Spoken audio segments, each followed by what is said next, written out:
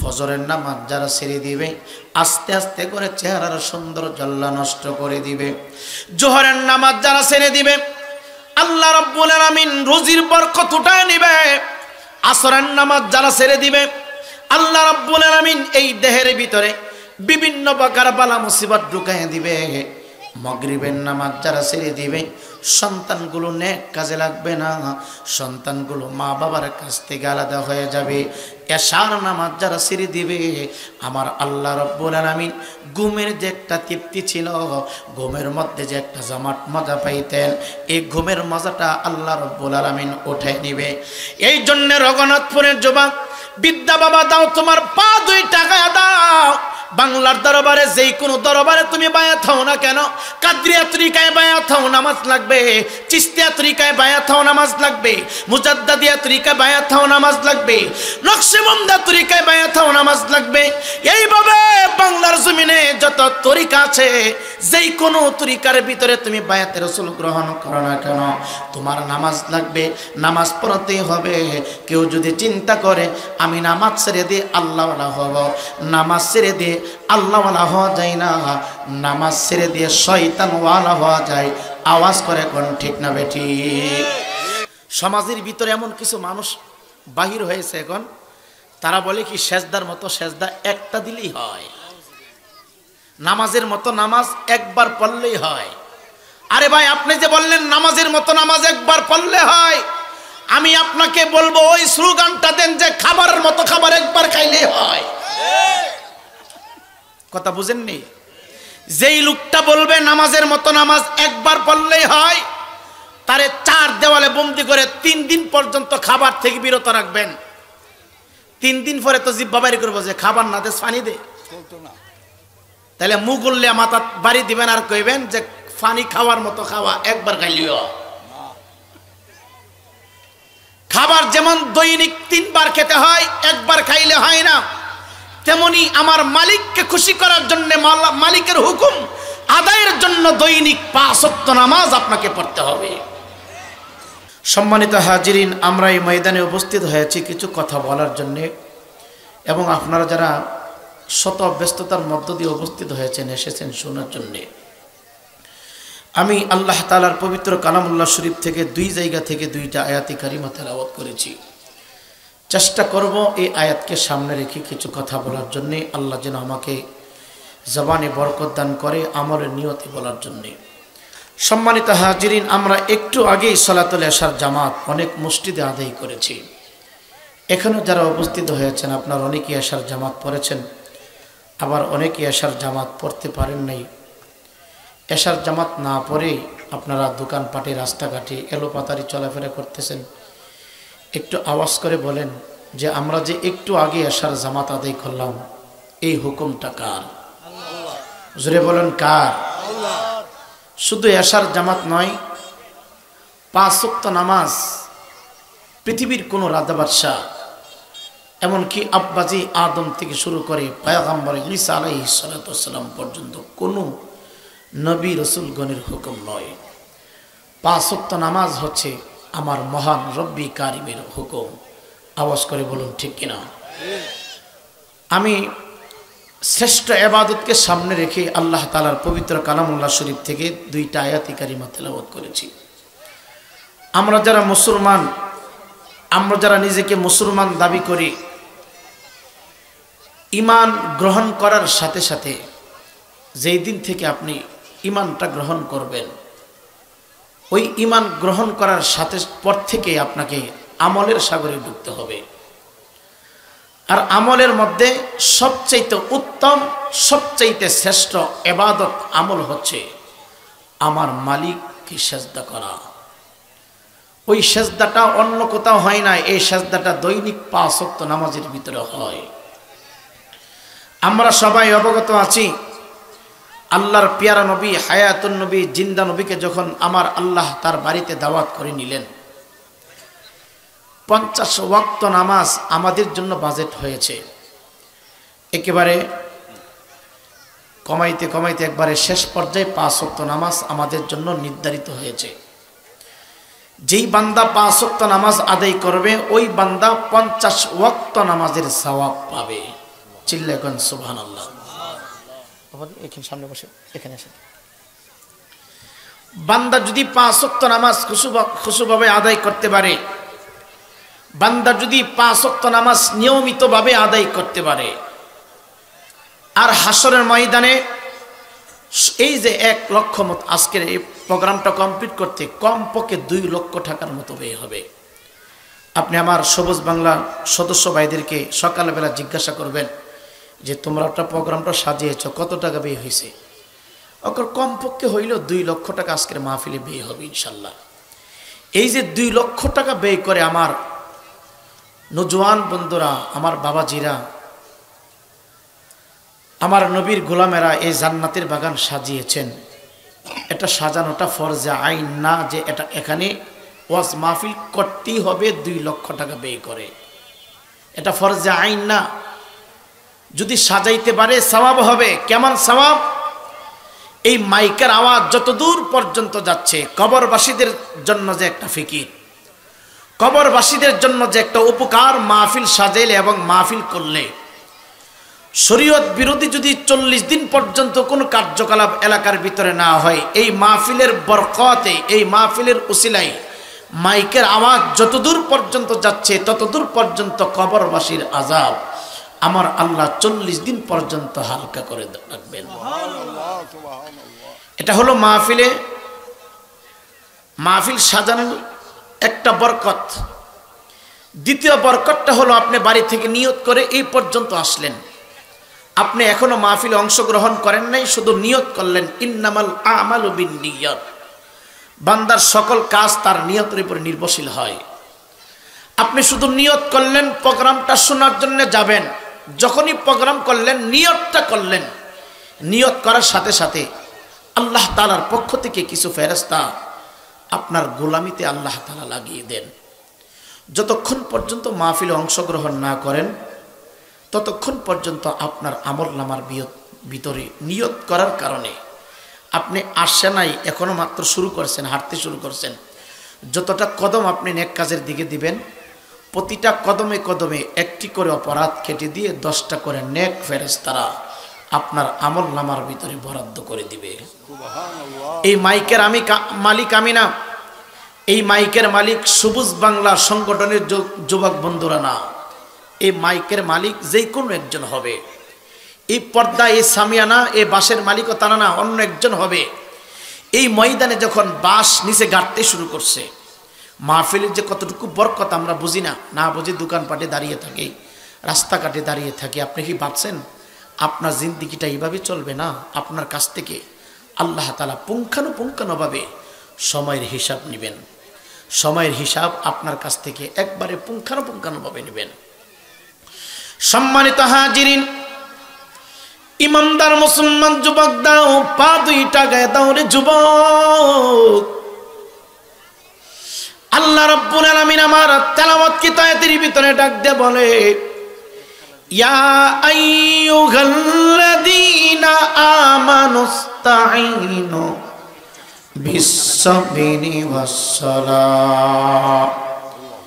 ইন্নাল্লাহা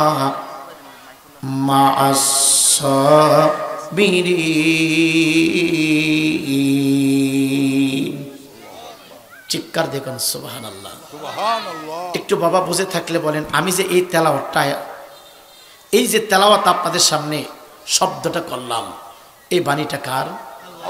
জোরে বলেন কার?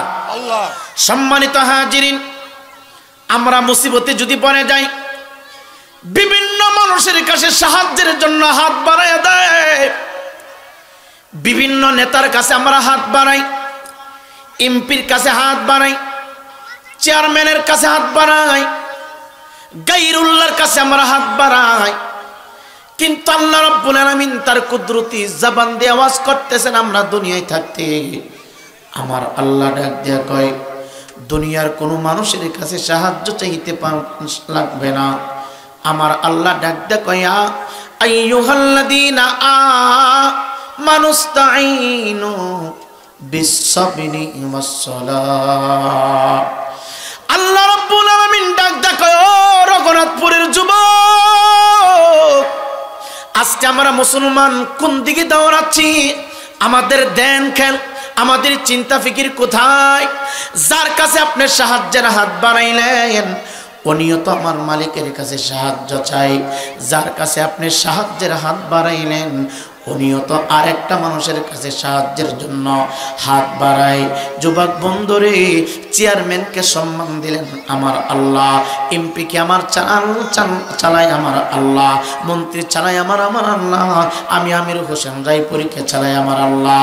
এই ইমানদার মুসলমান যুবক, দুনিয়ার জমিনে যত ক্ষমতাবান ব্যক্তি বলেন, যত জনাট্য মানুষ বলেন, আওয়াজ করে বলেন চালাইকে বুঝলে বলেন কে? সমস্ত কিছু ক্ষমতার মালিক আমার আল্লাহ। আমরা যার কাছে সাহায্য চাচ্ছি, আমরা যার কাছে হাত বাড়াচ্ছি, আমরা যেই মানুষটার কাছে হাত বাড়াচ্ছি, হাত বাড়িয়ে কান্নাকাটি করতেছি জামা আমাকে একটু সহযোগিতা করুন, আমাকে একটু পরিবর্তন করে দেন। আরে ভাই, এই লোকটাও তো আমার মালিকের কাছে সাহায্য চায়। আর আল্লাহ বলছেন কি হে আমার ইমানদার বান্দারা তোমরা আমি আল্লাহর কাছে আমি আল্লাহর কাছে সাহায্য চাও। সবরকে ধৈর্যকে সলাৎকে ওসিলা বানিয়ে আমি আল্লাহ তাআলার দরবারে তোমরা সাহায্যের হাত বাড়িয়ে দাও। চিল্লা এখন সুবহানাল্লাহ। সুবহানাল্লাহ। ধৈর্যকে এবং সলাৎকে সলাৎ শব্দের অর্থ হচ্ছে নামাজ। অনেক বাবাজারে কয়, নামাজ তো কোরআনের ভিতরে নাই। নামাজ তো আল্লাহ পড়ার জন্য কইছে না, কায়েম করার জন্য বলছে। আল্লাহ তো পড়ার জন্য বলে নাই, কায়েম করার জন্য বলছে। কায়েমটা কি আপনি বুঝেন? কায়েমটা হচ্ছে আপনাকে নিজে পড়তে হবে এবং সমাজে নামাজ প্রতিষ্ঠিত করতে হবে। আপনি নিজে পড়তে হবে এবং আপনার পরিবার পরিজনকে নামাজ পড়াইতে হবে। সম্মানিত হাজিরিন আমরা নামাজ ছেড়ে দিয়ে বিভিন্নভাবে সাহায্য নিতে চাই। নামাজ ছেড়ে দিয়ে আমরা বিভিন্ন ভাবে আল্লাহকে রাজি করতে চাই, খুশি করতে চাই। না না। ইমানদার মুসলমান বাবা, নামাজ পড়া হচ্ছে আমার আল্লাহর আইন। নামাজ পড়া হচ্ছে আমার আল্লাহর হুকুম। ফজরের নামাজ যারা ছেড়ে দিবে, আস্তে আস্তে করে চেহারার সুন্দর জল্লা নষ্ট করে দিবে। জোহরের নামাজ যারা ছেড়ে দিবে আল্লাহ রব্বুল আলামিন রুজির বরকত উঠায় নিবে, আসরের নামাজ যারা ছেড়ে দিবে, আল্লাহ রব্বুল আলামিন এই দেহের ভিতরে বিভিন্ন প্রকার বালা মুসিবত ঢুকাই দিবে। মগরিবের নামাজ যারা ছেড়ে দিবে, সন্তানগুলো নেক কাজে লাগবে না, সন্তানগুলো মা বাবার কাছ থেকে আলাদা হয়ে যাবে। এশার নামাজ যারা ছেড়ে দিবে, আমার আল্লাহ রব্বুল আলামিন ঘুমের যে একটা তৃপ্তি ছিল, ঘুমের মধ্যে যে একটা জমাট মজা পাইতেন, এই ঘুমের মজাটা আল্লাহ রব্বুল আলমিন উঠে নিবে। এই জন্য রঘুনাথপুরের যুবক, বিদ্যা বাবা, দাও তোমার পা দুই টাকা দাও। বাংলার দরবারে যেই কোনো দরবারে তুমি বায়াত হও না কেন? কাদ্রিয়া তরিকায় বায়াত হও নামাজ লাগবে, চিস্তিয়া তরিকায় বায়াত হও নামাজ লাগবে, মুজাদ্দাদিয়া তরিকায় বায়াত হও নামাজ লাগবে নকশেবন্দা তরিকায় বায়াত হও নামাজ লাগবে। এইভাবে বাংলার জমিনে যত তরিকা আছে, যেই কোনো তরিকার ভিতরে তুমি বায়াতে রসুল গ্রহণ করো না কেন? তোমার নামাজ লাগবে, নামাজ পড়তে হবে। কেউ যদি চিন্তা করে, আমি নামাজ ছেড়ে দিয়ে আল্লাহওয়ালা হব, নামাজ ছেড়ে দিয়ে আল্লাহওয়ালা হওয়া যায় না। নামাজ ছেড়ে দিয়ে শয়তানওয়ালা হওয়া যায়। আওয়াজ করে কোন ঠিক না বেঠিক সম্মানিত হাজির অনেকে ভাবতেছেন আমরা নামাজ পড়বানা নামাজ না পড়ে অন্য কোন আবাদত করব। কেন এই কথা বলবেন? কালকে আমাদের কঠিন মুসিবতের দিনে ইমানদার মুসলমান যুবক, এই কথাগুলি আমি বারবার বলি, এই কথাগুলি আমি বারবার মাহফিলে বলি। আজকে বাংলাদেশের প্রতিটা আজামে মসজিদের ভিতরে এমন মসজিদ পাওয়া যায়, জোহরের টাইমে মুসল্লি পাওয়া যায় না। আসরের টাইমে মুসল্লি পাওয়া যায় না। কিন্তু দোকানপাট, রাস্তাঘাট মানুষ বরফর থাকে। খেলার সময় হইলে নির্ধারিত টাইমে যুবক ছেলেরা খেলাধুলা করার জন্য চলে যায়। খাবারের টাইম হইলে খাবারের জন্য চলে আসে। ব্যবসার সময় হইলে দোকানের দরজাটা খুলতে পারে। কিন্তু ফজরের নামাজে আল্লাহর হুকুম এই কথা বান্দা বলে গেল। জোহরের নামাজে আল্লাহর হুকুম এই কথা বান্দা বলে গেল। আসরের নামাজে আল্লাহর হুকুম এই কথা বান্দা বলে গেল। মাগরিবের নামাজ পড়া জাল্লার হুকুমে এই কথা বলে গেল, এশার নামাজ জাল্লার হুকুমে এই কথা বলে গেল। জানিয়ে রাখো পাঁচ অক্ত নামাজ দ্বারা হিসাব সহজ হয়ে যাবে, পাঁচ অক্ত নামাজের হিসাব দ্বার সহজ হয়ে যাবে, সমস্ত আমলের হিসাব সহজ হয়ে যাবে। কারণ কালকে আমাদের কঠিন মুসিবতের দিনে আমার নবী বলেন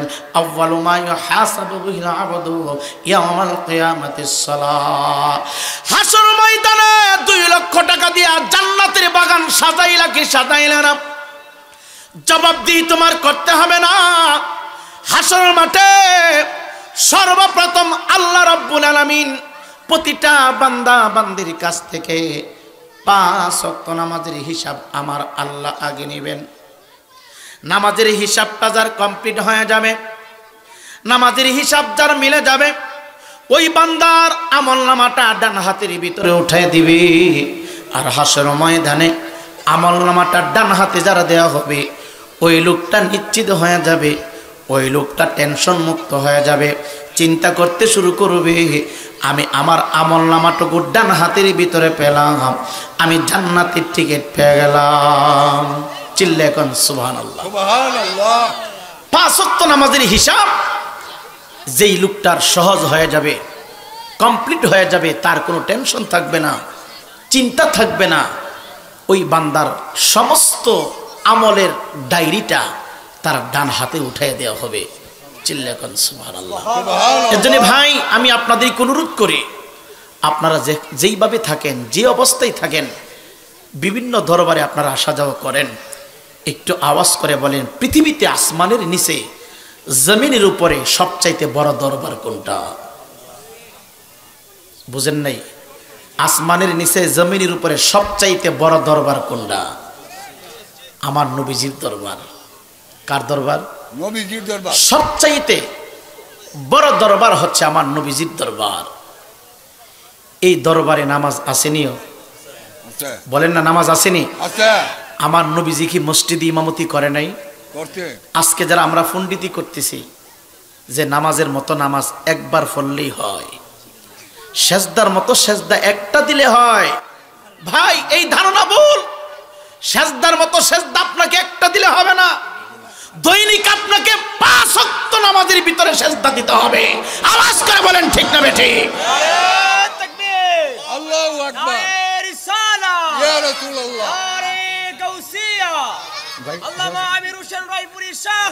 জিন্দাবাদ সম্মানিত হাজিরিন এই কথাগুলো বলে সাধারণ পাবলিকের চিন্তা ফিকিরটা ভিন্নভাবে তারা ডিভাইড করতেছে। সমাজের ভিতরে এমন কিছু মানুষ বাহির হয়েছে এখন। তারা বলে কি সেজদার মতো সেজদা একটা দিলেই হয়। নামাজের মতো নামাজ একবার পড়লেই হয়। আরে ভাই, আপনি যে বললেন নামাজের মতো নামাজ একবার পড়লে হয়, আমি আপনাকে বলব ওই স্লোগানটা দেন যে খাবারের মতো খাবার একবার খাইলেই হয়। কথা বুঝেননি? যেই লোকটা বলবে নামাজের মতো নামাজ একবার পড়লেই হয়, তারে চার দেওয়ালে বন্দি করে তিন দিন পর্যন্ত খাবার থেকে বিরত রাখবেন। তিন দিন পরে তো জিব্বা বাড়ি করব যে খাবার না দে, পানি দে। তাহলে মুগুল্লে মাথা বাড়ি দিবেন আর কইবেন যে পানি খাওয়ার মতো খাওয়া, একবার খাইলিও খাবার যেমন দৈনিক তিনবার খেতে হয়, একবার খাইলে হয় না। তেমনি আমার মালিককে খুশি করার জন্য মালিকের হুকুম, আদায়ের জন্য দৈনিক পাঁচ নামাজ আপনাকে পড়তে হবে। এই সমস্ত দুকাবাজি কথা থেকে আপনার ইমান আমার ইমান আল্লাহ যেন হেফাজত করে। জোরে বলে আমিন। আরও জোরে বলে আমিন। বাবাজি নামাজের ভিতরে সেজদা কাকে করা হয়? অনেকে প্রশ্নবিদ্ধ করে যে হুজুর আমরা তো আল্লাহরে দেখছি না না দেখে কেমনে সেজদা করব? কত বড় সিটার দেখছেন নি? কত বড় কাঁচা বাটফারি এগুলা। নামাজ পরশ না এটা তোর ব্যক্তিগত বিষয় কিন্তু এই কাঁচা বাটফারি কইরা যারা ফাঁকে ফাঁকে মুষ্টিতে যায় এইগুলোর মুষ্টি থেকে বাইর করে। হুজুর, আমরা তো দেখছি না। না দেখে সেজদা কুরুম করে? আরে ভাই, না দেখে বিশ্বাস করার নামই হলো ইমান তুই দেখস না, আল্লাহ তোরে দেখিনি? কথা বলেন, তুই কানা তুই দেখস না। তোর চোখ অন্ধ হয়ে গেছে, ওই চোখ কোলা হয়ে যা, তুই আল্লাহরে দেখবে। সম্মানিত হাজিরিন প্রদবষ্ট হবেন না, এই কথাগুলো শোনা যাবে না। নামাজ পড়া পৃথিবীর কোন পীর সাহেবদের আদেশ না। নামাজ কোন সাহাবাই কারাম কেরামের আদেশ না। নামাজ পড়া হচ্ছে আমার আল্লাহর আইন। নামাজ আপনাকে পড়তেই হবে। আমার আল্লাহ ডাক দিয়ে কয় ইন্নাস সালাতা তানহা আনিল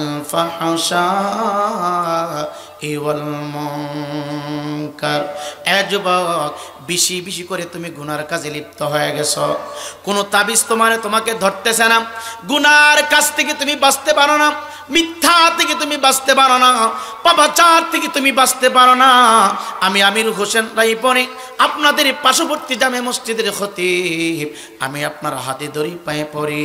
এ যুবক বন্ধুরে, সমস্ত পাপাচার তোমার অন্তরটাকে ঘিরে ফেলেছে, তোমার কালাপটাকে নষ্ট করে ফেলেছে।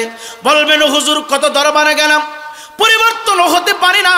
এ যুবক, আজকে থেকে তুমি, আজকে থেকে না, ফজরের নামাজের আদান যখন শুরু হয়ে যাবে, বলবেন, হুজুর, মিথ্যা থেকে বাঁচতে পারে না গুণা থেকে বাঁচতে পারে না। সকাল হইলে, বিকাল হইলে তো চব্বিশ ঘণ্টার ভিতরে মিথ্যা বলতে হয়। কীভাবে সত্য পথ পাবো? কীভাবে সত্য কথা বলব? এ যুবক বন্ধুরে, তুমি তুমি তোমার নিজেকে নিজে তুমি পরিবর্তন করতে চাও। তোমার কলপটাকে যদি মদিনাওয়ালার আয়না বানাতে চাও, তোমার জীবনটাকে সুন্দর তুমি যদি করতে চাও, জান্নাতি রাস্তা তুমি যদি পাইতে চাও রে যুবক, ইহদিনা তুমি যদি চলতে চাও, আজকের মাহফিলে বৈশাওয়াদা করো, আগামীকাল ফজর থেকে আর নামাজ ছাড়ব না। নামাজের মুসল্লায় দাঁড়িয়ে গেলে সমস্ত ফায়াসা কাছ থেকে আমার আল্লাহ নামাজের ওসিলা বানায়া তোমার হেফাজত করবে। আওয়াজ করে বলেন ঘোষণাটা কার? জোরে বলেন না কার? ইমানদার মুসলমানদের পা দুই টাকা দেবা বাবা। কেমনে বুঝাইব? কেমনে তোমার বুঝাইব? যেই ব্যক্তি পাঁচ ওয়াক্ত নামাজ আদায় করবে, আল্লাহ আনিল ফাহশা মুনকার। নিশ্চয়ই সমস্ত ফায়সা কাছ থেকে, সমস্ত খারাপ কাছ থেকে নামাজ তোমাকে হেফাজত করে রাখবে, নামাজ তোমাকে বাঁচায় রাখবে, এখন আসেন কেমনে বাঁচাবে? এ যুবক, আপনি ফজরের জামাত আদায় করলেন। ফজরের জামাত আদায় করার পরে অনিচ্ছাকৃতভাবে হোক, ইচ্ছাকৃতভাবে হোক, আপনার হাতের দ্বারা, পায়ের দ্বারা, জাবানের দ্বারা গুণা হয়ে গেছে, আপনি তওবা করার সুযোগ পান না। আবার যখন জোহরের নামাজ পড়ার জন্য উজুর পানিটা হাতের মধ্যে নিয়া বিসমিল্লা বলে উজু করতে শুরু করলেন।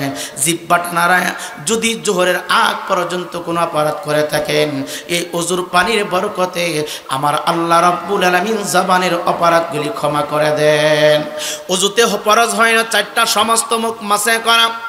এই চেহারার দ্বারাই যদি ফজর থেকে জোহর পর্যন্ত কোনো অপরাধ হয়ে যায়, এই উজুর পানির বরকতে আল্লাহ রব্বুল আলামিন তোমার চেহারার অপরাধটুকু ক্ষমা করে দিবে। এ যুবক বন্ধুরে, এ হাতের দ্বারা যদি ফজর থেকে জোহর পর্যন্ত কোনো অন্যায় হয়, অপরাধ হয়, আমার আল্লাহ রব্বুল আলামিন এ হাতের অপরাধগুলি উজুর পানির বরকতে ক্ষমা করে দিবে।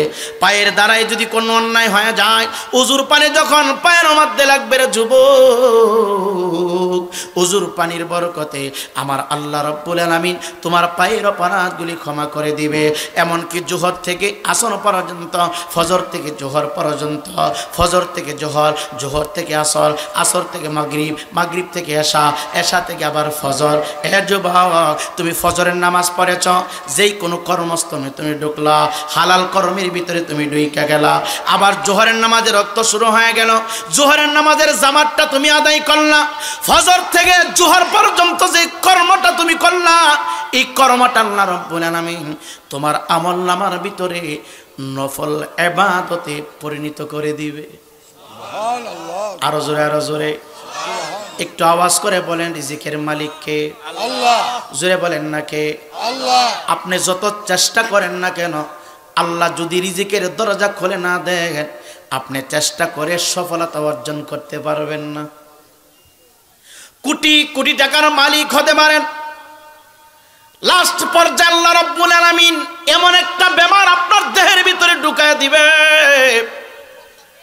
বাংলাদেশের ভিতরে অহরহর ঘটনা আছে। ইন্দ্র কিশোর শিল্পীর নাম শুনছেন নি? হ্যাঁ? ডাকাতার কয়েকটা প্লাট ছিল।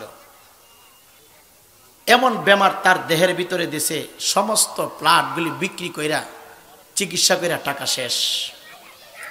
সরকারের কাছে সহযোগিতা চাইলো যে আমি আপনার কাছে সহযোগিতা চাই। সরকার তারে পনেরো লক্ষ টাকা সহযোগিতা করছে। সব কিন্তু শেষ। জীবনে যা কামাইছে নামাজ না ফইরা সব শেষ। জীবনে যা কামাইছে লক্ষ লক্ষ টাকা তার ইনকাম হয়েছে। আরে ভাই তোমার যৌবনের চাহিদা ভালো।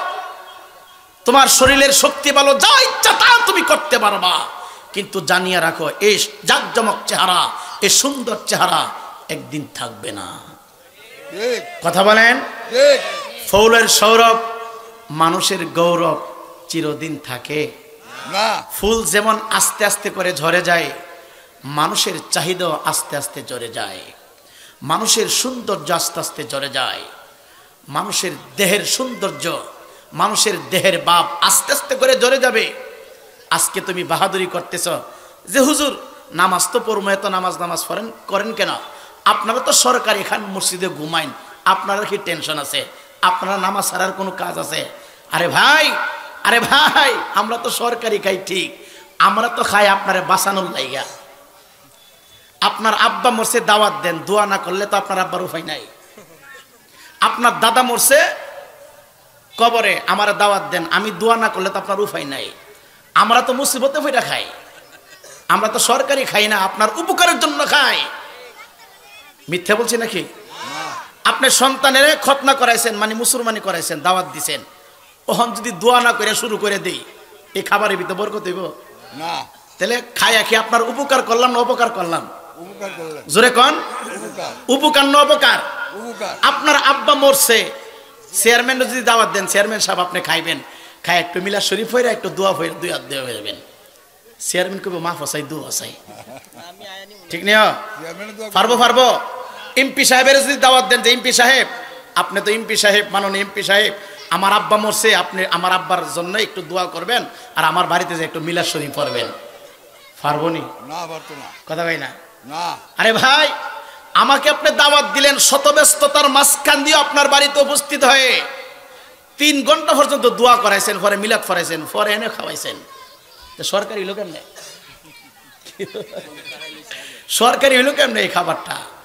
ভাই, অনেকে ভাবেন যে হুজুর রাজত কত না। হুজুর রাজত তার চাইতে আরও কঠিনের চাইতে কঠিন হবে। সম্মানিত হাজিরিন, উলামাই কারাম কথা বলে আপনাকে বাঁচার জন্যে, উলামাই কারাম কথাগুলো বলে কবরের আজাব থেকে আপনাকে বাঁচানোর জন্যে ফুলসিরাতের গাঠটাকে গাঠ থেকে বাঁচানোর জন্যে, মিজানের পাল্লা থেকে তোমাকে বাঁচানোর জন্য। ইমানদার মুসলমান বাবা, বেনমাজি হইয়া তুমি লক্ষ লক্ষ টাকা ইনকাম করতে পারবা। এই টাকার ভিতরে কোনো বরকত থাকবে না, এই টাকার ভিতরে কোনো রহমত থাকবে না, এই টাকার ভিতরে কোনো আজমত থাকবে না। এই টাকার মধ্যে আল্লাহর পক্ষ থেকে কোনো রহমত আর বরকত থাকবে না। এটার বাস্তব প্রমাণ কণ্ঠশিল্পী এন্ডি কিশোর কথা আমি বলছিলাম। শেষ পর্যায়ে তিনটা বাড়ি তার বিক্রি করে চিকিৎসা হয়ে গেল। থেরাপি লাগে। একটা থেরাপি দিতে গেলে পনেরো লক্ষ টাকার প্রয়োজন। থেরাপি দিতে যাইয়া সমস্ত বাড়িঘর বিক্রি করল প্লাটগুলি বিক্রি করল, কোটি কোটি টাকা শেষ হয়ে গেল। শেষ পর্যায়ে সরকারের কাছে হাত বাড়ায় দিল। সরকার মহোদয়, আমার একটু সহযোগিতা করেন, আমি তো বাঁচব না। সরকার তো বোকা সরকারের পক্ষ থেকে জাকাত পান থেকে পনেরো লাখ তারে জাকাত দিল। একটা থেরাপি লাগে মাত্র পনেরো লক্ষ টাকা, দিছে পনেরো লক্ষ। একটা লাগে পনেরো লক্ষ, পাইছে পনেরো লক্ষ। আরে ভাই আরে ভাই, সময় ফুরায় যাইয়া যদি মালিকের কাছে সাহায্য চান, তখন কিন্তু চূড়ান্ত পর্যায়ে কিন্তু আমার মালিক আপনার দুয়ারে আসবে না। আপনাকে সহযোগিতা করার জন্য আসবে না। এর জন্য অনুরোধ করতেছি, ভাবতেছেন যে হুজুর বুড়া হয়ে যাব গা দাড়ি টাড়ি ফাই কালো একবার শেষ পর্যায়ে জীবনে যা আছে কইরালো একবারে মরার আগে থোবা টোবা কইরা হস করে একবারে ভালো যাব গা এমন চিন্তা ফিকির অনেকের কাছে কিন্তু আছে। আছে না ভাই? এমন চিন্তা ফিকির করলে চলবে না ভাই। সদা সর্বদাই সব সময় চব্বিশটা ঘণ্টা আপনাকে মৃত্যুর জন্য প্রস্তুত থাকতে হবে। এখন মৃত্যু হতে পারে, আগামীকালকে হতে পারে, এক ঘণ্টা পরে হতে পারে তিন ঘণ্টা পরে হতে পারে এক বছর পরে হতে পারে আবার পঞ্চাশ বছর পরে হতে পারে মৃত্যুটা যে হবে এটা চির সত্য। কথা বলেন ঠিক কিনা? আমি বলি যদি মরতে হয় তাহলে পাঁচ ওয়াক্ত নামাজ আপনি জামাতে সহিত আদায় করেন। আর যদি মনে করেন মরবেন না তাইলে নামাজের দরকার নাই। এটা আপনার ব্যক্তিগত বিষয়।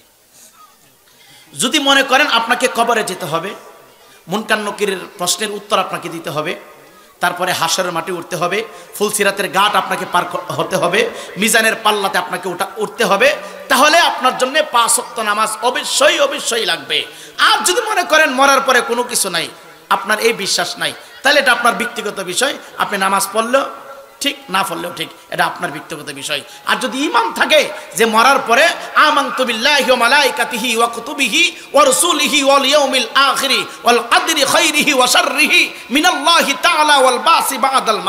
এই যদি থাকে, আপনার এই আকীদার ভিতর যদি আপনার ইমান থাকে, বিশ্বাস থাকে যে মরার পরে আবার আল্লাহ আমাকে পুনর্জীবিত করবেন। মরার পরে আবার আল্লাহ আমার কাছ থেকে জবাবদিহিতা নেবেন। তাহলে আপনি আপনি অবশ্যই অবশ্যই নামাজ পড়তে হবে। নামাজ পড়বেন, এটা আপনাদের কাছে আমি গুণাগারের পক্ষ থেকে অনুরোধ, বিনীতভাবে অনুরোধ করতেছি, কোনো মানুষের কথা শুনে জামাত ত্যাগ করবেন না, কোনো মানুষের কথা শুনে নামাজ কাজা করবেন না, কোনো আউল ফাউলের কথা শুনে নামাজ কাজা করে, নামাজ কাজা করে, নামাজ কাজা করে নিজের সুন্দর ভবিষ্যৎটাকে নষ্ট করবেন না, একটু আওয়াজ করে বলেন, নামাজ পড়া কার হুকুম? জোরে বলেন কার? আমি তো মনে করি যারা নামাজ পড়ে না তারা আল্লাহরে মানে না। মানে কথা বলেন। যারা নামাজ কেনে মস্কারা করে দেখবেন হঠাৎ করে একটা মুসল্লি হয়ে গেছে। হঠাৎ করে মাথায় টুপি লাগাইছে সমাজের ভিতরে এমন কিছু ট্যাট না আছে কইরে দেখবে মুসল্লি হয়ে গেছে আসেন এরকম? আচ্ছা। আপনি নামাজ কিনে অ্যাঙ্কার করলেন। কোনো আবাদতকে নিয়ে অ্যাঙ্কার করলে আপনার ইমান চলে যাওয়ার সম্ভাবনা আছে। সম্মানিত হাজিরিন, নামাজ পড়লে সমস্ত ফায়াসা কাছ থেকে, বিপদ আপদ থেকে বাঁচাই কে? এই তো আমার মনে হয় গেল, কুফানগরের ভিতরে নামাজ একদম বান্দার কথা। উনি শুনেছে, আল্লাহ বলেছে তানহা আনিল ফাহশা নামাজ পড়লে সমস্ত ফায়াসা কাছ থেকে, সমস্ত খারাপ কাজ থেকে নিজেকে হেফাজত করা যায়। ইমানদার মুসলমান, আল্লাহর মহানলি আল্লাহর মহানলি লোকটা বড় আল্লাহওয়ালা, লোকটা বড় দার্মি লোকটা বড় নামাজ পণ্যওয়ালা আল্লাহ রব্বুল আলমিনের কুদ্রুত বোঝা যায় না। দুনিয়ার জমিনে দেখবেন, একটা ফ্যামিলির ভিতরে একজনকে কয়েকটা ছেলে সন্তান আল্লাহ দান করেছে। কন্যার জন্য আল্লাহর দরবারে কান্নাকাটি করে। একটা কন্যা সন্তান দাও, আর ছেলে সন্তানের কোনো প্রয়োজন নাই। আবার এমন ফ্যামিলি আছে, ছেলের জন্য কান্না করে। আল্লাহ পাক ছেলে দান করেন না, শুধু কন্যা সন্তান দান করে। কুফা নগরের ভিতরে, যেই কুফা নগরের ভিতরে, ফুরাতির তীরে হজরত ইমাম হুসাইন রদিয়াল্লাহ তালাহ এ যুবক বন্ধু, শরীরের তাজা রক্ত দিয়া পুরা জমিনটাকে লাল লাল করা হয়েছিল। এই জমিনের ভিতরে একজন আল্লাহ আল্লাহওয়ালা হুসাইনের পাগল, আহলে বায়াতের পাগল, পাক বাঞ্জতনের গুলাম। দৈনিক পাঁচ নামাজ আদায় করে, ফজর পরে, জোহর পরে, আসর পরে, মাগরিব পরে, এশা পরে আবিন পরে। আবার রাত্র যখন গভীর হয়ে যায়, উনি দাঁড়াইয়া দাঁড়াইয়া তাহাজ্জতের নামাজ আদায় করে। এত লম্বা কেরাত দিয়ে উনি তাহাজ্জতের নামাজ পড়তেন। এত লম্বা সুর দিয়ে উনি তাহাজ্জতের নামাজ পড়তেন। একবারে লম্বা নামাজ পড়তে পড়তে ফজরের অক্ততে উনি চইলা যাইতেন। ইমানদার মুসলমান, উনি নামাজ পড়া শুধু মালিকের দরবারে হাত বাড়ে বলতো, মালিক কোন দিন জানি না, আমার মৃত্যু হয়ে যাবে। আমাকে তুমি দুনিয়ার জমিন থেকে উঠাই নিবা। কিন্তু আম- আমাকে উঠাই নিবা আমার কোনো দুঃখ নাই, কোনো কষ্ট নাই। আমি অপরাধী, তোমার দরবারে হাত বাড়ায় আর্জি জানাই যেই দিন আমারে তুমি দুনিয়ার জমিন থেকে উঠাই নিবা ওই দিন আমি গুণাকারকে সেজদা করা অবস্থায় আমার মরণটা দিও। ওই দিন জিকির করা অবস্থায় আমার মরণটা দিও। ওই দিন তোমার গোলামির ভিতরে আমার মরণটা দিও। আল্লাহ রব্বুল আলমিনের দরবারে দোয়া কবুল হয়ে গেল, মঞ্জুর হয়ে গেল। লোকটা ফজরের নামাজ পড়া উনি উনার কর্মের দিকে বাগিন হয়ে যায়। আবার যখন জোহরের নামাজের সময় হয়ে যায়, জোহরের নামাজের সময় হইলে যে স্থানে জোহরের নামাজে রক্ত হয়, ওই জায়গায় মসজিদের ভিতরে ঢুকে জামাতবদ্ধ হয়ে নামাজ আদায় করে। কারণ উনি শুনেছে, জামাতবদ্ধ হয়ে এক রাকাত নামাজ আদায় করলে সাতাশ রাকাতের সাপ আমার আল্লাহ দিয়ে দেন। আরও জোরে কন। ঘরের ভিতরে আপনি নামাজ পড়বেন এক রাকাত পড়লে এক রাকাতের সওয়াব। ঘর ত্যাগ করে জামে মসজিদের ভিতরে দাঁড়িয়ে যদি আপনি এক রাকাত নামাজ পড়তে পারেন সাতাশ রাকাতের সওয়াব।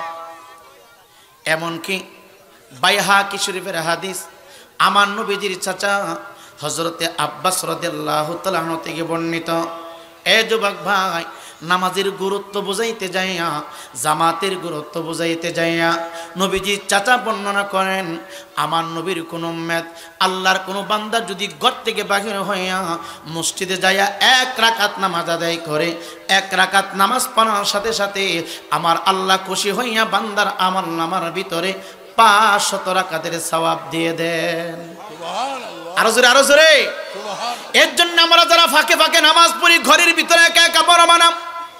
মসজিদে চলে যাব, আদান যখন শুরু হয়ে যাবে মজ্জাম যখন ডাকতে শুরু করবে, হাইয়ারা সলা এসো সলাতির দিকে। খেলা বন্ধ করে দিবেন, দোকানপাট বন্ধ করে দিবেন, রাস্তাঘাট ত্যাগ করে দৌড়ে মসজিদের দিকে চইলা যাইবেন। কারও বাসার মধ্যে যদি টিভি খোলা থাকে টেলিভিশনগুলি চালু থাকে, যখনই শব্দ শুরু হয়ে যাবে, আল্লাহ আকবার, আল্লাহ সব চাইতে বড়। হাই সলা এসো সলাতের দিকে, হাইয়াল ফালা এসো কল্যাণের দিকে। তোমার দোকানে, আমার দোকানে বাদ্য বাজনা চলছে। আল্লাহ আকবরের শব্দটা শোনার সাথে সাথে বাদ্য বাজনা নামাজ বন্ধ করে দিবা। ঘরের ভিতরে টিভির পিকচার চলতেছে। বন্ধ করে দিবা কারণ তুমি মুসলমান তুমি মুসলমান। আল্লাহ শব্দ চাইতে বাদ্য বাজনার আওয়াজ তোমার কাছে বড় হয়ে যাবে। যদি আল্লাহ শব্দটা শোনার পরে তুমি ঘরের টেলিভিশনটা বন্ধ না করতে পারো বাদ্য বাজনা বন্ধ না করতে পারো, আল্লাহর গজব আল্লাহর গজব তোমার ফ্যামিলিতে চলে আসবে। আল্লাহর লানত তোমার ফ্যামিলির ভিতরে চলে আসবে। এর জন্য মুসলমানের সন্তান আমি অনুরোধ কইরা দেয়া যায় মসজিদের ভিতরে যখন আজান চলতে শুরু করবে, তুমি তো, তুমি তোমার দোকানের ভিতরে বাউলদের গান বাজাও। আজান শোনার সাথে সাথে, প্রথম শব্দ শোনার সাথে সাথে গান বাজনার আওয়াজ বন্ধ করে দিবা। টেলিভিশন আওয়াজটা বন্ধ করে দিবা। সমস্ত আওয়াজ বন্ধ করে দিয়ে তোমার ধ্যান, তোমার খেল থাকবে আজানের দিকে। কারণ রে বাবা, আজানের উত্তর দেওয়া, আজানের জবাব দেওয়া আপনার জন্য কিন্তু ওয়াজিব হয়ে যায়। ইমামদার মুসলমান, আওয়ালে খেরে নবী মুহাম্মদ, জাহিরে বা তেনে নবী মুহাম্মদ। ফজরের নামাজ জীবানাগি পরিবে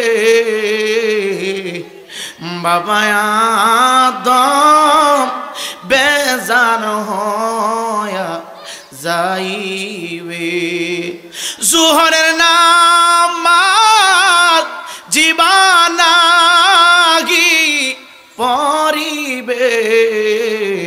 আল্লাহর খলিল বেজার হয়া যাইবে। যুবক বন্ধু বিদ্যালয়টা ফজর নামাজ পড়িয়া, তার উপযুক্ত কোনো ছেলে সন্তান নাই, না থাকার কারণে বাড়তি কষ্ট করতে হয়, প্রতিদিন কর্মস্থলে যেতে হয়, প্রতিদিন ওনাকে কর্ম প্রতিদিন কর্মের ভিতরে ঢুকতে হয়। যেই দিন কর্মস্থলে না যায়, ওই দিন তার ঘরের ভিতরে তার কন্যা সন্তানগুলি অবাবাস্তাকে ছেলে সন্তান নাই। আল্লাহ রব্বুল আলমিন তাকে বারংবার কন্যা সন্তানের মালিক বানিয়েছেন। কন্যা সন্তান তাকে উপহার দিয়েছেন। তারপরে লোকটা অসন্তুষ্ট না। মালিকের দরবারে হাত বাড়ে বলে, মালিক, তুমি আমার ইমানটাকে ঠিক রাখিও। ও দয়াময় মালিক, তুমি যেইভাবে চালাও আমি সেইভাবে চলব। তুমি যদি আমাকে চালাও আমি চলবো। তুমি যদি আমাকে খাও আমি খাব। তুমি যদি আমাকে উপবাস রাখো আমি উপবাস রাখব। মালিক রে, তুমি যদি আমার দরিদ্র বানায় অসন্তুষ্ট থাকো। আমি কিন্তু অসন্তুষ্ট হইতে পারব না। এই যুবক, আজকে আমরা কোন দিকে দাবিত হয়ে গেলাম? কোন দিকে দৌড়াচ্ছি? শুধু দুনিয়া দুনিয়া দুনিয়া নিয়ে ব্যস্ত হয়ে গেলাম। সকালবেলা ঘুম থেকে ওইটা আমরা যারা কর্মস্থলে যাব চিন্তা করি, দোকানটা আগে আগে খুললে ব্যবসাটা ভালো হবে। আজকে বাজারের দিন, সকালবেলা দোকান খুলতে হবে, সারাটা দিন থাকতে হবে। সারাটা দিন থাকার জন্য প্রস্তুতি গ্রহণ করে তুমি বাড়ির মধ্যে গেলা। ব্যবসাটা ভালো করবা, সারাটা দিন থাকার জন্য তুমি প্রস্তুতি ভালো করে গ্রহণ করলা। কিন্তু রে বাবা, দুনিয়ার জমিন ছাড়িয়া, ঘর বাড়ি ছাড়িয়া, যেই ঘরের ভিতরে, যেই দেশের মধ্যে কোটি কোটি কোটি কোটি কোটি কোটি বছর তোমাকে থাকতে হবে। এই ঘরের জন্য তুমি কি আয়োজন করলা? এই ঘরের জন্য তুমি কি চিন্তা করলা? এই ঘরটার জন্য একটা দিন চিন্তা করলা না? আমি অন্ধকার কবরে কেমনে থাকব? আমার কবরে কে সাথী হবে? আমার কবরে আমার আপন কে হবে? এই চিন্তা তুমি আর আমি করলাম না। ইমানদার যুবক বন্ধুরে, বিদ্যা লোকটা কুফানগরের ভিতরে প্রতিদিন ফজরের নামাজ পড়িয়া কোরআনে কারিম তালামাত করতেন সুরায়াসিন তালামাত করতেন। সুরায়াসিন তালামাত করার পরে সুরাতুল ওয়াকিয়া তালামাত করতেন। আজকে তো আমরা বিভিন্ন দরবারে যাই তাবিজের জন্য। একটা তাবিজ দেওয়া যায়, সকালবেলা ঘুম থেকে ওঠার পরে দোকানটা খুলিয়া কোনো বাদ্য বাজনা বাজায়েন না। এই, তুমি ব্যবসা করো, তুমি চাকরি করো, তোমার ঘরের ভিতরে ফজরের নামাজের পরে কোনো বাউলদের গানটা লাগাইও না, মমতাজের গান লাগাইও না বাদ্য বাজনা লাগাইও না। কোরআনে কারিম তুমি তেলাওয়াত করতে পারো না। মোবাইল ফোন থেকে যে কোনো একটা বরকতপন্ন সোরা সোরা ইয়াসিন হতে পারে। সুরে রহমান হতে পারে, যে কোনো একটা কোরআনে কারিমের তালাওয়াত মোবাইল থেকে তুমি অন করে দিয়ে ঘরের ভিতরে তুমি লাগাইয়া দিবা। সকালবেলা কোরআনে কারিম তালাওয়াতের বরকত হয়ে গেল। তুমি সকালবেলা দোকানটা খুই না বাদ্য বাজনা না বাজায় না যুবক, তোমার মোবাইল থেকে একটু কোরআনে কারিমের তালাওয়াত তুমি ঢুকাইয়া দিবা। কেন রে, কেন কেন? সকাল সন্ধ্যা তোমার ঘরের ভিতরে আমার আল্লাহর পক্ষ থেকে রহমতের ফেরেস্তা আসা যাওয়া করে, বাদ্য বাজনা যে ঘরে চলে বাজনা নর্তকী মহিলাদের আওয়াজ যে ঘরের ভিতরে চলে, এই ঘরের ভিতরে আল্লাহ রহমত থেকে বঞ্চিত হয়ে যায়। আল্লাহর ফেরেস্তার এই ঘরের ভিতরে ঢুকে না। এই জন্য অনুরোধ কইরা দিয়া যায়, সকালবেলা তোমার ঘরের ভিতরে, আমার ঘরের ভিতরে তুমি বাজনা লাগাইও না, ব্যবসা ঘরের ভিতরে বাদ্য বাজনা লাগাইও না। যদি পারো, উজু কইরা ফজরের নামাজটা পইরা তুমি তোমার দোকানের ভিতরে বইসা সুরাতুল ওয়াকিয়াটা তুমি তেলাওয়াত করবা। সুরাতুল ওয়াকিয়া তেলামত করলে কি হয়? আমি যখন ময়মনসিংহ জেলার অন্তর্গত, এই ঐতিহ্যবাহী নন্দাইল তোসরা বাইতুল কোরআনে পড়াশোনা করতাম। ওই সময় আমি আরেকটা বাড়িতে খাবার খাইয়ে পড়াশোনা করতাম। আমি বলতাম, হুজুর, খাবারের যে অবস্থা, এই খাবার খাইলে পড়াশোনা করা যাবে না। অনেক কষ্ট হয়। আমার বড় হুজুর বলতো, ও আমির হোসেন, তখন তোরাই পরি হয় নাই। বলতো, আমির হোসেন, তোমার কি খাবারের প্রয়োজন? হা হুজুর, খাবার না খাইলে কীভাবে পড়াশোনা করব? এখন তো খাবারের প্রয়োজন। ডাক দিয়া কয় হুজুরের পার্সোনাল রুমের ভিতরে ঢুকা দিল। ঢুকাইয়া ওই দিন থেকে আমাকে একটা সবক দিল। তুমি যদি বেশি বেশি অর্থের মালিক হইতে চাও, তুমি যদি নিজেকে সম্মানে বানাতে চাও, বেশি বেশি খাবার তুমি যদি সংগ্রহ করতে চাও, সকালবেলা ঘুম থেকে ওইটা প্রথমে সুরায়াসিনটা তেলাওয়াত করবা। সুরায়াসিন তেলামত করার পরে সুরায়াসিনটা তেলাওয়াত করার পরে সাতাইশ পারা বাহির কইনা সুরাতুল ওয়াকিয়াটা সকালবেলা তেলাওয়াত করবা। এইভাবে তুমি চল্লিশ দিন পর্যন্ত তুমি যদি আমল করতে পারো কোরআনের সাথে তোমার যদি সম্পর্ক লাগাইতে পারো আল্লাহ তাআলার কোরআনের কারিমের বরকতে আমার মাওলার পক্ষ থেকে তোমার জন্য রিজিকের ব্যবস্থা আমার আল্লাহ করে দিবে। চিৎকার দেখুন সুবহানাল্লাহ।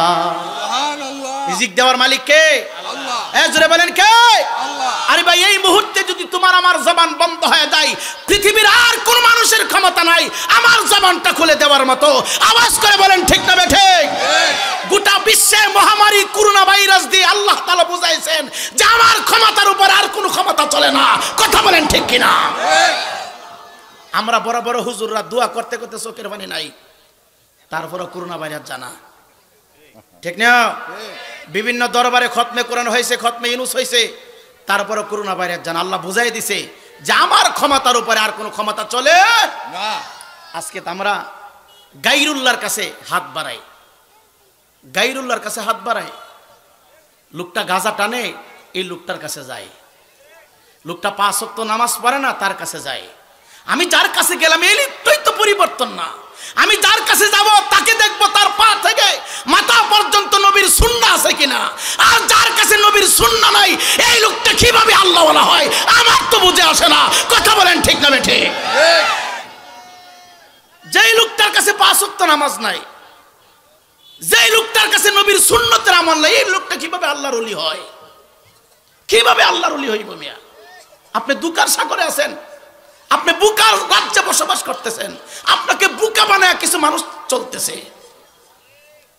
রাগ করতেছেন নাকি?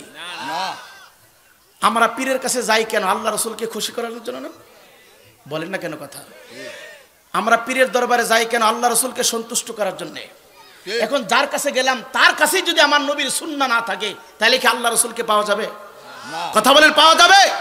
আমি যার কাছে যাব তার কাছে যদি কোরআন হাদিসের জ্ঞান না থাকে আমি যাকে আমি যাকে শায়েক মানবো আমি যাকে আমি যাকে আমার আপন বানাবো তার কাছে যদি আমার নবীর সুন্নতির কোনো তাবেদারি না থাকে আমার নবীর সুন্নতির কোনো মহাব্বত না থাকে তাহলে এই লোকটা আপনাকে কি শিক্ষা দেবে?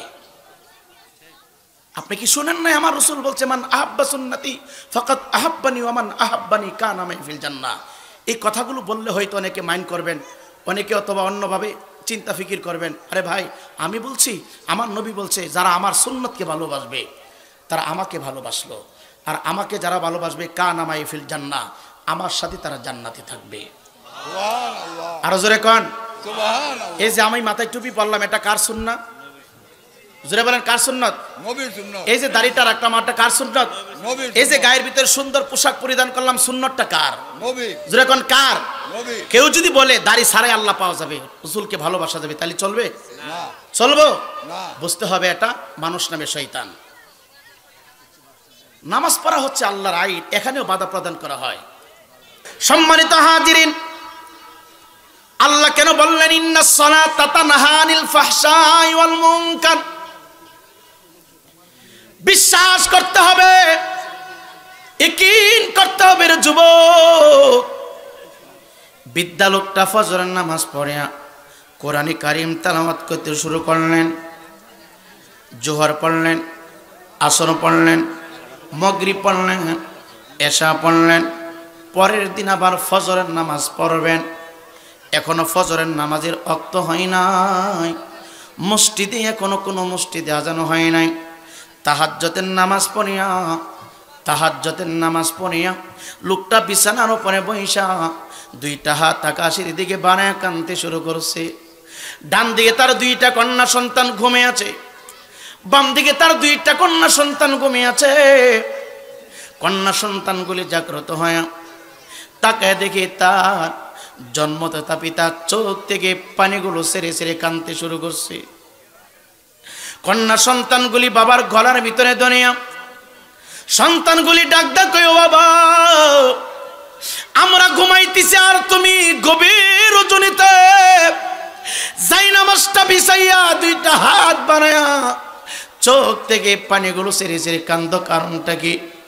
বুঝেছি বাবা, আমাদের জন্য ভালো বস্ত্রের ব্যবস্থা করতে পারো না বলে, ভালো খাবারের আয়োজন করতে পারো না বলে। আমাদের কি বিবাহ দেওয়ার জন্যে ব্যবস্থা করতে পারো না বলে। তুমি যদি গভীর রজনীতে কান্না করতেছো, বাবা, চিন্তার কোনো কারণ না হয় চিন্তার কোনো কারণ নাই। একদিন কেন যদি এক মাস পর্যন্ত ঘরের ভিতরে খাবার না থাকে, আমরা তোমাদের কাছে খাবার চাইব না। কারণ আল্লাহ বলেছে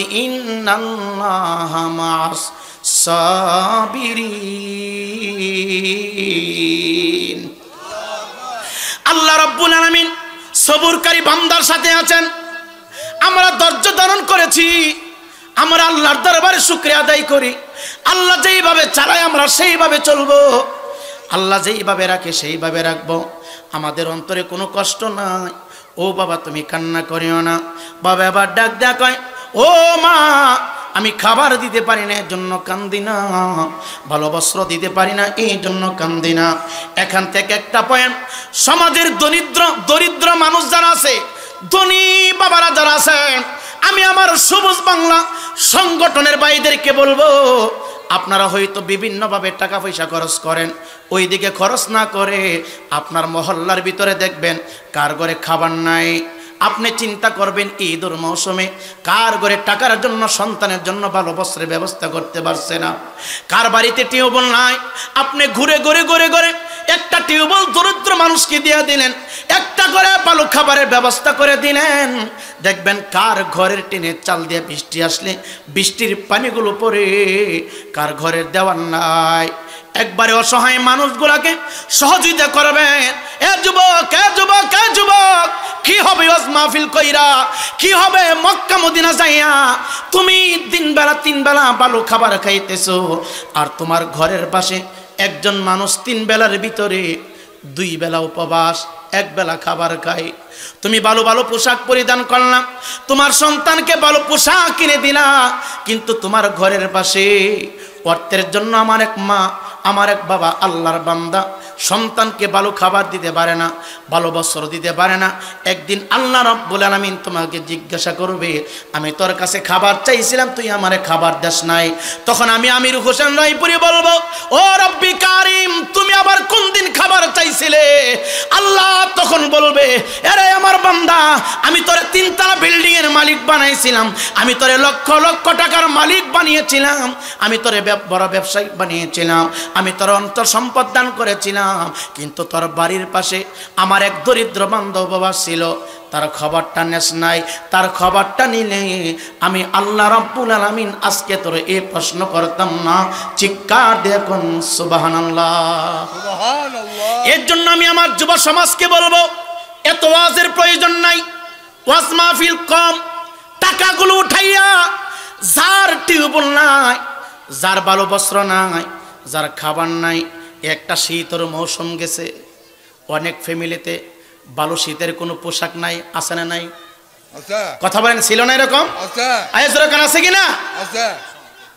এই অন্তর থেকে হিংসা রিয়া তাকাব্বরি সব কিছু দূর করে নিজেকে মাটির মতো করে ফেলুন। একবারে মাটি হয়ে যান। যখন আজান শুরু হয়ে যাবে দৌড়ে মসজিদে চলে যাবেন। আর মানব সেবাটা করবেন। কাউকে কষ্ট দিবেন না। এই জবানটাকে হেফাজত করবেন। এই জবান দিয়ে কারও বিরুদ্ধে কথা বলার প্রয়োজন নাই। এই জবান দিয়ে কারও বিরুদ্ধে কথা বলার প্রয়োজন নাই।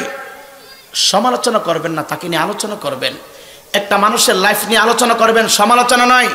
সমালোচনলে গুণা গুণা হয়, আর আলোচনা করলে সওয়াব হয়। একটা মানুষের ভালো দিক নিয়ে আলোচনা করবেন, সমালোচনা না। একটা মানুষ, দোষে গুণে মানুষ, তার গুণও আছে, দোষও আছে। গুণগুলি উপস্থাপনা করবেন, আর দোষগুলি আপনি চাপা দিয়ে রাখবেন। খেয়াল থাকবে আমাদের? পাঁচ ওয়াক্ত নামাজ পড়ব। ইচ্ছাকৃতভাবে ইচ্ছাকৃতভাবে যেন নামাজ কাজা না হয়। ক্যাবলা দিকে পিট করে ক্যাবলা দিকে মুখ করে একেবারে ওরঙ্গ হইয়া পায়খানা প্রস্রাব করা যাবে না। পানির ভিতরে বিনা কারণে বিনা কারণে পুকুরে, নদীতে, খালে, বিলের পানিতে প্রস্রাব পায়খানা করা যাবে না। কারণ জলে স্থলে এ- এখনও একজন আল্লাহওয়ালা বসবাস করতেছেন, যার নাম হচ্ছে হজরতে খিজির আলাই সালাম। ক্যাবলা দিকে পিট করিয়া ক্যাবলা দিকে মুখ করিয়া একেবারে উলঙ্গ হইয়া পায়খানা প্রস্রাব করা যাবে। খেয়াল থাকবে? জানি সারা রাত ওয়াশ হই না, কথা বাড়িতে নিতে পারবেন না তো। কারণ ডান কান দিয়ে শুনবেন, বাম কান দিয়ে বাহির হয়ে যাবে। কয়েকটা কথা যদি বাড়িতে নিয়ে আমল করতে পারেন, আশা করি আপনার লাইফ পরিবর্তন হয়ে যাবে। অনেক বাবাজিরা আসি আমরা সকালবেলা ঘুম থেকে উঠে পূর্ব আকাশ থেকে যখন সূর্যটা উদিত হয়, ঘুম থেকে উঠছে এখন ব্রাশ হয় নাই, হাতে সিগারেটটা ধরে সূর্যের দিকে মুখ করে প্রস্রাব করতে শুরু করছি। এমন অভ্যাস আছে না? এই অভ্যাসটা ছেড়ে দিবেন, এই অভ্যাসটা ভালো না। দাঁড়িয়ে প্রস্রাব করবেন না, যুবক। দাঁড়িয়ে প্রস্রাব করলে গুনাহে কবিরা হয়। কি হয়? দাঁড়িয়ে প্রস্রাব কি করা যাবে? দাঁড়িয়ে প্রস্রাব করবেন না, অনুরোধ। দাঁড়িয়ে প্রস্রাব করবেন না, বসে প্রস্রাব করবেন। উত্তর, দক্ষিণ দুইটা দিক নির্ণয় করে নির্দিষ্ট একটা জায়গাতে প্রস্রাব করবেন। আল্লাহ তালা এই কথাগুলোর উপরে এবং প্রস্রাব পায়খানার পরে সবাই ডিলে ব্যবহার করবেন।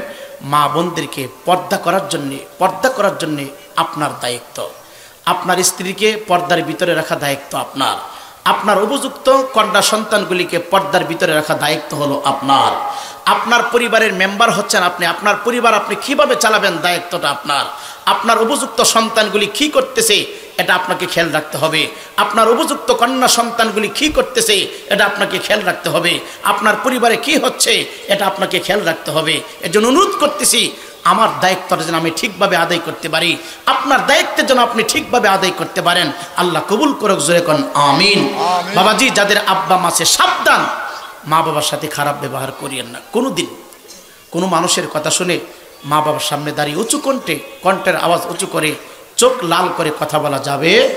আল্লাহ তালা আমাদের সবাইকে কথাগুলোর উপরে আমল করার তৌফিক দান করুক। জোরে বলে আমিন। এ বলে বিদায় নিচ্ছে আমারও সমাপ্ত আলোচনা এখানে সমাপ্ত করে। চলে যাচ্ছি। আসসালামু আলাইকুম রহমতুল্লাহ।